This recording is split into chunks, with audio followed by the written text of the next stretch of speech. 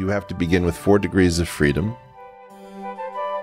And then you have to put rulers and protractors uh, into that system so that you can measure length and angle. That gives rise miraculously to a derivative operator that measures rise over run. That rise is measured from a reference level.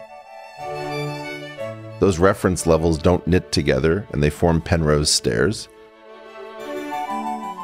And the degree of Escherness or Penroseness is what is measured by the curvature tensor, which breaks into three pieces. You throw one of them away called the Weyl curvature, and you readjust the proportions of the other two, and you set that equal to the amount of stuff. Now, that's a very long causal chain, Yeah. but it is linguistically an accurate description of what general relativity actually is.